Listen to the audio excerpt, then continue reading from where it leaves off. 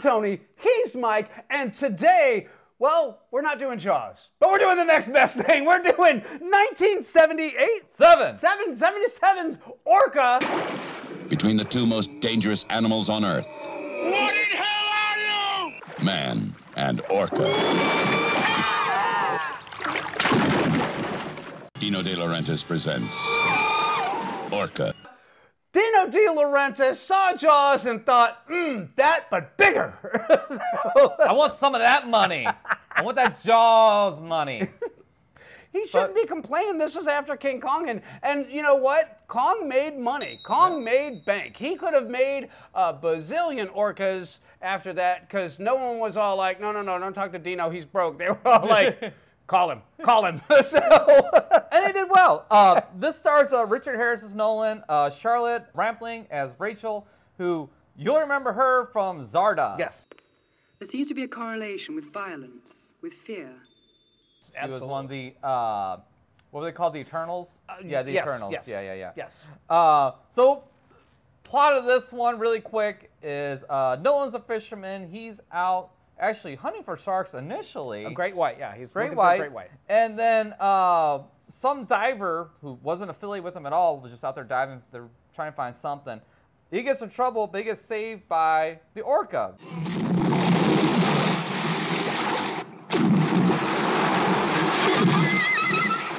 Jesus, what did that? Orca kills a great white, and he's all impressed by this shit. And then he runs into um, Rachel, and she's a what do they call it when they study? She's fish? a cetacean biologist, so what he said.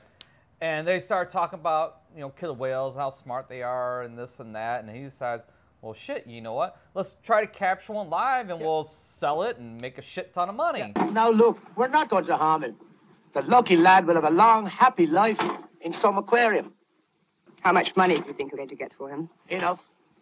Um, I forgot the dollar figure, but it was like so many thousands of dollars per, per foot. yeah, yeah. So, I, so- I- I think, so- it's, I think it's like ten thousand dollars per foot or something stupid like that. Something along those lines. And So I mean, considering an orca gets 30, 35 feet, that's that's that's bank. Yeah, so, it's a good chunk of money. So anyway, so he goes out and he finds a pod of uh, orca, and he's going to try to uh, tranquilize one. Well, he f***s up uh, his the male orca. Yeah, he's and- trying to and- yeah he's trying to get the male and winds up snagging the female. Yeah, So- and uh, hits the female, and the female gets injured. The female also runs into the, the blades of the boat and just basically um, just gets f***ed up. Well, they try they try to pull the well they do pull the female orca out, and then it spontaneously gives birth.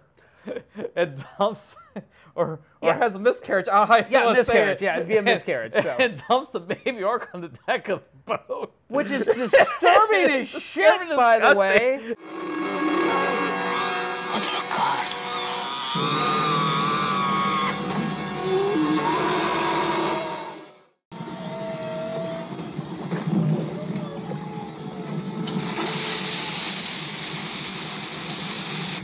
And so uh, the, the female dies, and the male orca goes to get its revenge, and boy, does it get its revenge.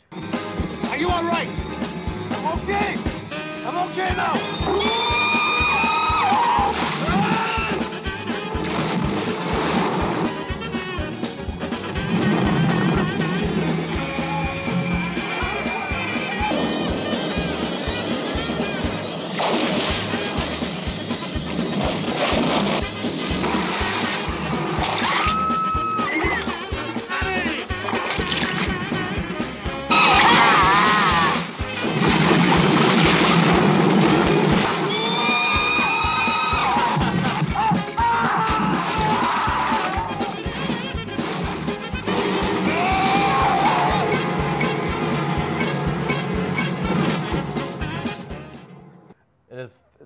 For me. This movie's a lot of fun. It's- I really enjoyed this movie quite a bit. I, I was going to say this from a technical standpoint. It's beautifully shot. Yes. From a celebrity standpoint, Charlotte Rampling, Richard Harris, Bo Derek in her first feature film. Mm-hmm. Oh, I forgot to mention so, her, yeah. so there's there's talent there. Yeah. And and the the problem with this film is the pacing.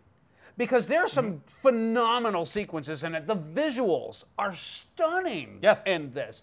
The miniature work is amazing. In Oh, yeah. And and from a story standpoint, it, it works out, you know, really well. But the problem is, is that unlike Jaws, which this is very Mm-hmm. obviously a, a homage or a straight up ripoff of Jaws, however you prefer to see it, Mm-hmm. but it lacks the subplot, so it loses a lot of the nuance that Jaws had. Yeah. Because with, with Jaws, you had Richard Dreyfuss, who's the biologist, Mm-hmm. and you have the mayor, and you have the, the fisherman, and then you have Brody. Great white, Larry. A big one.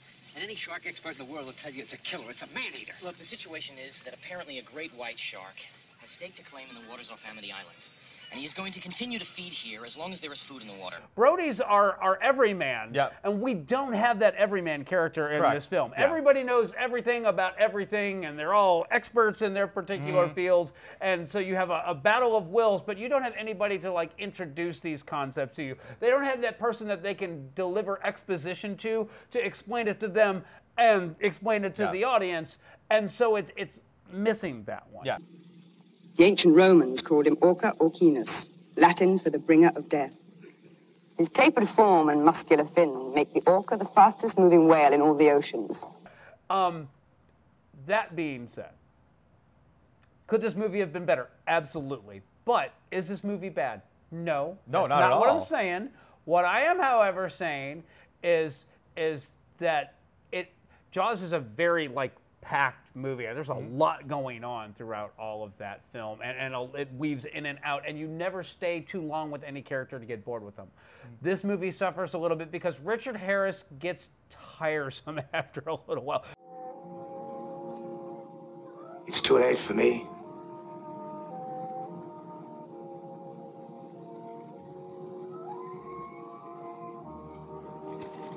Charlotte Rampling is amazing throughout.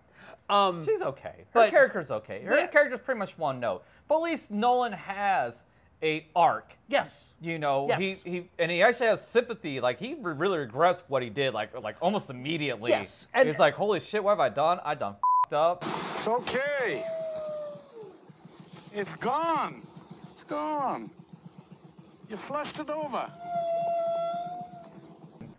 That is actually, I think, one of the big saving graces Yes. of this film. Yeah, the it's the strength thing- of the movie. The other thing is, is that unlike Jaws, which is just a eating machine, What we are dealing with here is a perfect engine, uh, an eating machine.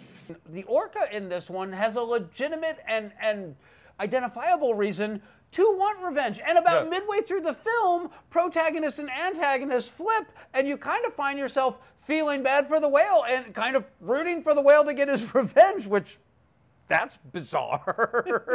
What's he telling you? Well, now, you're me, he said. I'm you, he said. You're my drunk driver. You're not like rooting for King Kong to tear up New York. Well, maybe you are, but okay, Godzilla in Tokyo. But um, uh, from a from a standpoint, this is kind of an example. If you ever wanted to know, you brought this up, so Yeah. I'm just going to say it. If you wanted to know what Jaws would have been like if the shark worked, this is it right Yeah. here because the whale worked. There- Yes. the whale works really well. Um, and the, you're, you're talking about the miniature scenes.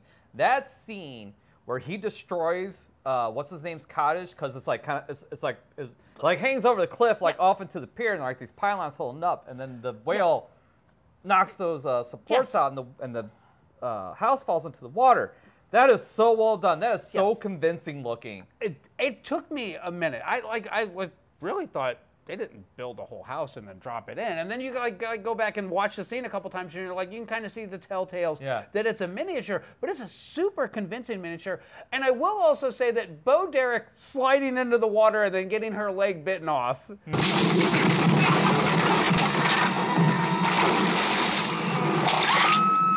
Daddy!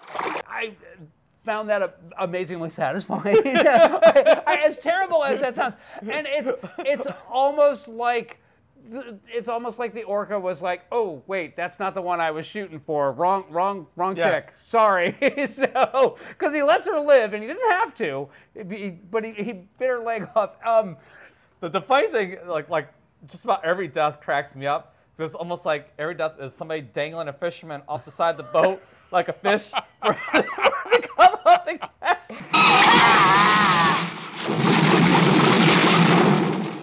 So it's almost like SeaWorld, except for you die when you get, when you feed the fish. that- that- okay, at the, the first one, the first one that died, the old man. Uh-huh. I, I laughed my ass off when that one had you go. I'm okay. I'm okay now. I, it was like totally straight out of SeaWorld. That was that was awesome. And then when Bo Derek's boyfriend buys the farm, I, I laughed at that one too. Um, I laughed at every death except for Nolan's.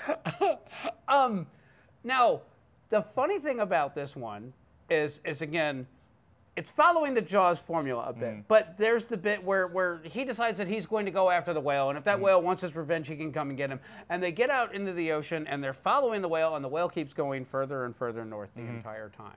Always the orca moved north, and always we followed. All Nolan said was we were hooked, the orca was reeling us in, and that was it. Sure, why not? I mean, I mean, okay. I, I'm, I'm just, I'm just suspending disbelief at this point. But mm. when they get to the ice, that whole sequence there is really impressive. It's I there's moments that are like super questionable. Logically, it doesn't make any sense, but Yeah. emotionally, it kind of does. I won't be needing this. It's going to be a fair fight. On equal terms. Get me the harpoon. He has to come up for air.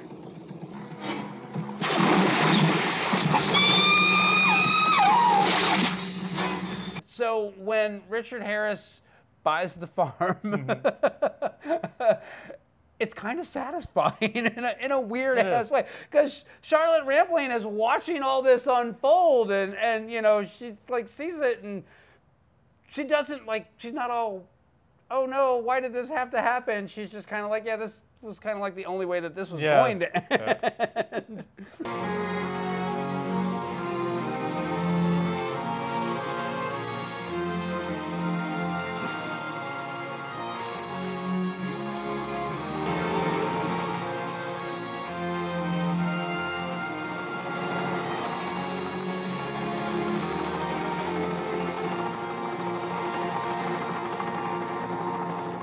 So, um, some of the strengths of this movie for me are are actually the, the characters because it's a very it's very character driven, even Yeah. though it's a creature feature. Yeah. Um, I liked uh, Richard's performance as Nolan. I liked uh, Charlotte Char's performance as Rachel. Mhm. Not quite as much as Nolan, but then also the portrayal of the orca is very much a character. Yes. Because you actually have feelings, whether good or bad, whatever, Mhm. you have it. But then also the town is a character as well. Yes. Because the, the, the, the setting is so down and dour, and then the people in there are kind of down and dour once bad Yeah. shit starts to happen. You see an orca hanging around here any length of time drives our fish away. That's our livelihood. You understand? Before shit, you know, it's all happy and all, all this life is great, blah blah blah. We're this happy fishing community. And when shit starts going south, it goes south quick. And then they make it known that hey, this is your problem. You caused this shit, Nolan. You get your fucking ass out there and you fix this fucking shit. Like Yeah. so, so much so that his boat takes priority. Yeah. And they fix his boat fast as they get him out there. The boatyard's giving you priority. They're hauling your bumpo up for fixing first thing tomorrow.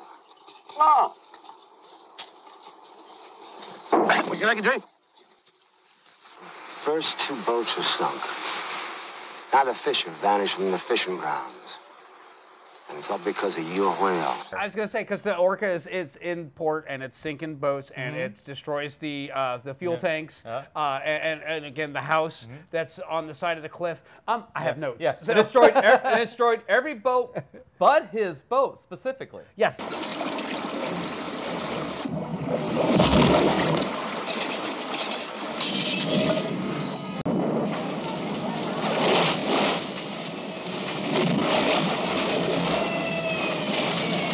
Has a, uh, a Ennio Morricone soundtrack. So if you remember him from all the Italian cinema that we have done, the mm-hmm. soundtrack is is spectacularly good. Mm-hmm. Is it is it Jaws good? No. No. But is it memorable and different and its own thing? Yes, absolutely. I, mm-hmm. I actually I got to be honest, I was kind of into the soundtrack as this was it was going here. This film had a budget of six million dollars. It had a box office of fourteen million, so it did solid numbers, but it didn't do King Kong money. No. King Kong did like a hundred million. Yeah. It was it was huge, but uh, this was also widely panned by a lot of Yeah. critics when it was initially released as just being a, a you know Jaws knockoff. And it's, I mean, yes, but I don't think it's deserved. I think, I think it's, it's just, it's different enough. It's Because it's not, a, it's not a wholesale ripoff. it's I was gonna say it's kind of deserved, but I will say this: if they had spent three more months rewriting the script, because there's there's meat here. There oh, Yeah, is yeah. a there is a, a t- story that should be told, and can could be told really inventively and really interestingly. And, and rather than it being a, a bit of a Jaws clone, it could have been an evolution to something that was different, smarter, you know, a little bit more character driven. Mm-hmm. Because unlike Bruce the shark in Jaws, which is just an eating machine, you could give the orca a bit more Yeah. personality and intelligence and and you know make that revenge a bit more satisfying and that the intro to this film and when they go out and they, they hunt down and they get the female all that that first 20 25 minutes of it rock solid it's Yes. it's Yes. really good Charlotte Rampling's character, the way she's introduced, and, and you know, like like why is she there? They never actually explain that, but she just shows up and He began to corner me after class at odd hours, asking about the orcas and occasionally about me. I was surprised at his ignorance of the animals. And she's like trying to dissuade Richard Harris to, you know, don't do that. They're intelligent, warm-blooded creatures like you and me. Mm-hmm. You know what? You that could have been handled a little bit more organically. It's a little heavy. Is there any way that I can make you give up? Well, there's one you might try. The other thing is, is that it would have been nice to actually get to meet some of the folks in the community, the fishing Yeah. community. We get to meet the, the one Inuit who is, you know, there, and and that's really about it. Please, tell your captain I am not his enemy. I would say it was one of the crew. I could help him. There's like the, the you know Bo Derek, Bo Derek's boyfriend, or and then the old man that's delicious. No, no, it's, it's, it's, it's mostly Nolan, um, Rachel, and uh, whoever the, the uh, uh, Native Native I think his name is Omlock, but I'm not positive on that. So Yeah, he'll, those, he'll throw it right here. I mean, those those are most of your characters. Um, so yeah, so going back, like if if Bruce worked, Mm. Would this be the superior movie? Because part, you know, because part of the charm of Jaws is you don't get to see the shark all that much. It adds that extra layer of suspense and stuff like that. And when you do see the shark in Jaws, when when it's brief, it's very effective. Yes. But but the times you get to see a lot of it, like when it's like hanging up on the back of the boat, like trying to chomp Yeah, away, yeah. it's hokey as. when it's uh, you know, munching down on uh, Robert Shaw, yeah, it, it looks hokey as. Uh, yeah, it- and but you see a million shots of the orc. I mean, there's like a oh yeah, ton of yeah, shots, and, and they all look great. Miniature, and then there's an animatronic, and then there's a full-sized fake orca that they did, and then there's real orca footage Yeah. that was shot specifically for this film. So, so yeah. The visuals, like I said, the visuals hold up. The Mm. visuals are stunning on this one. But I'm going to say that Jaws would still be, if Jaws didn't exist, this would be a more memorable film. The thing about this, the reason why Jaws is the superior film is simply because the the depth of the characters that you're getting and the number of characters that you're getting because you, you have the the lady whose little boy got eaten Mm-hmm. by the shark and then like it's a subplot she like walks up to chief brody and slaps him in his face Chief Brody? Yes? and he feels guilt over what happened to her kid Yeah. because he didn't do something to prevent it all that is is Yeah. absolutely integral to the plot It's, of it's, it's a better story overall. Yes. It's it's a better Yes. script. It's a better director. It's better actors. It's just it's overall it is just absolutely yeah, better. Yeah. Could this movie have been better? Absolutely. Absolutely. And this is a movie, this is ripe for a remake. This is a movie that you could most definitely take the bones of this, really flesh out these characters, add some depth to the town, add some extra side characters, and you could make something really interesting, kind of on par with Peter Jackson's remake of King Kong, because that's what he did. He expanded all those characters from that 90 minute little film from the 1930s. He gave it some depth and some breath, and he, he actually let the characters be characters. And this movie would benefit greatly from that. And I, I kind of hoping somebody sees this and goes, not a bad idea. Let's give that one a spin. so while this while this is not as good as Jaws, I still say it's better than Jaws 2. Oh. It's better than Jaws 3. And it's absolutely better than Jaws 4. I don't know what the hell they're trying to do with Jaws 4. That thing doesn't make any sense.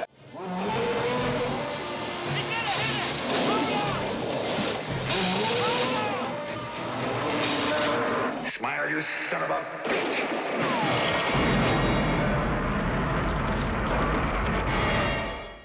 It, it's absolutely a superior film to two, three, and four. Jaws: The Revenge. Yeah. now I will say this: subjectively, Jaws 3 is more fun to watch. I, mean, just because it's 3D, it's hokey as f- and it's just it's just silly. Yeah, yeah. And, see, there's proof right there that you can have all the talent in the world in front of the camera, but if you have the wrong script and the wrong director, it doesn't matter because that's got Dennis Quaid and that's got Louis Gossett Jr. and like Uh, you, early Lea Thompson. you could throw a rock and you'll hit somebody that was like huge or famous after that movie came out. But Jaws 3 is hokey dumb fun. there's there's the there it is right there in a nutshell. If you want a great involving film, throw in Jaws. If you want something that you can turn on and be entertained, but it's not gonna like break your brain or anything, throw in Orca. And if you want hokey dumb fun that you can have a beer and giggle at, Jaws 3 it is, my man. I'm, I'm, I'm gonna say this: if you want like just a, just a night of like fun fish films, do this. Do Jaws 3. Do Piranha or Piranha 2 or any one of those Piranha movies because they're they're a ton of fun. Cruel Jaws. Cruel Jaws is fun, but not the same level as like this and Jaws 3. I'm going to say The Last Shark as well, which we're going to do a review on that one at some point in the future. But but I'm a big fan of the creature feature dumbass shark movies Yeah. and all the Jaws knockoffs. So So if I hadn't made it clear, this is a recommend for me. it's absolutely a recommend for me, but with the caveat of don't expect Jaws. It ain't that. No. But but it's it's a solid watch. so Absolutely. That's what I got. anything else? Nope. No. We will catch you next time.